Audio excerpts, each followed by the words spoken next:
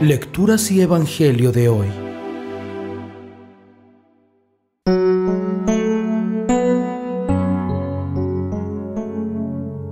Lectura del libro de Isaías.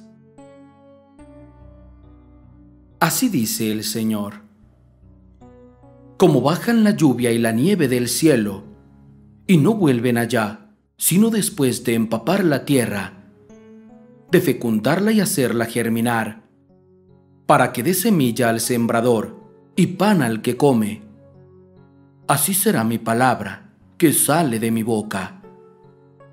No volverá a mi vacía, sino que hará mi voluntad y cumplirá mi encargo. Palabra de Dios. Te alabamos, Señor.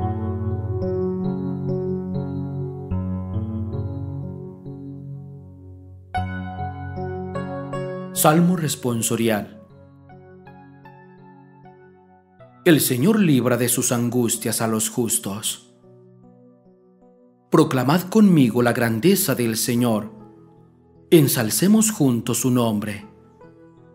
Yo consulté al Señor y me respondió. Me libró de todas mis ansias. El Señor libra de sus angustias a los justos contempladlo y quedaréis radiantes, vuestro rostro no se avergonzará. Si el afligido invoca al Señor, Él lo escucha y lo salva de sus angustias. El Señor libra de sus angustias a los justos. Los ojos del Señor miran a los justos, sus oídos escuchan sus gritos. Pero el Señor se enfrenta con los malhechores para borrar de la tierra su memoria. El Señor libra de sus angustias a los justos. Cuando uno grita, el Señor lo escucha y lo libra de sus angustias. El Señor está cerca de los atribulados, salva a los abatidos. El Señor libra de sus angustias a los justos.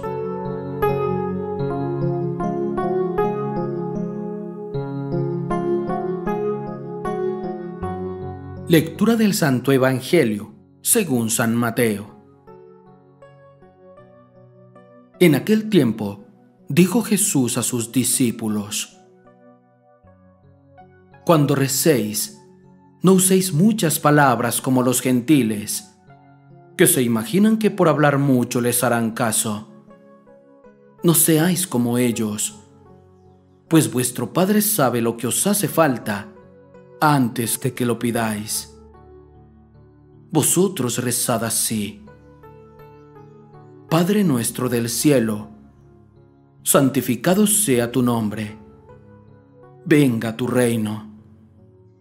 Hágase tu voluntad en la tierra como en el cielo. Danos hoy el pan nuestro de cada día.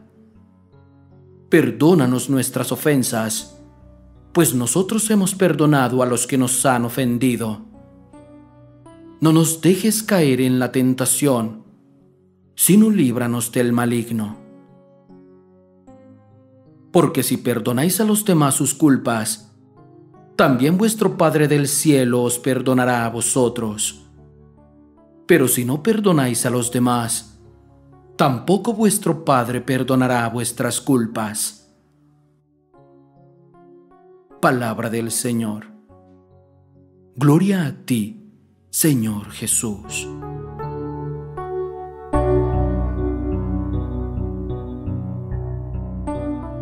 Si perdonáis a los demás, también vuestro Padre os perdonará. Pero si no perdonáis, tampoco vuestro Padre perdonará vuestras culpas. Queridos hermanos, a través del Santo Evangelio de este día, el Señor nos invita a perdonar a quienes nos ofenden, para poder así alcanzar el perdón de nuestros pecados.